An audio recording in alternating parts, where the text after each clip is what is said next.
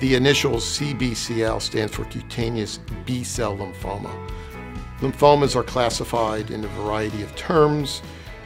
B-cell lymphomas are a different class of lymphomas compared to T-cell lymphomas. Cutaneous B-cell lymphoma is an unusual disorder where someone gets a, a B cell or a B lymphocytic lymphoma that's only in their skin. Uh, the reason it's unusual is because B cells usually live in lymph nodes. And no one really knows why they do that in somebody's skin.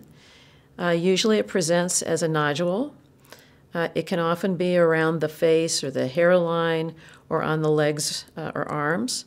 And there's basically three different kinds, two of which grow very slowly, a third of which grows more rapidly.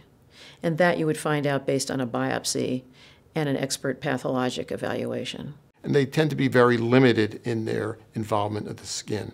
The vast majority of cutaneous B-cell lymphomas have a very favorable prognosis and are not associated with systemic or internal involvement of lymphoma.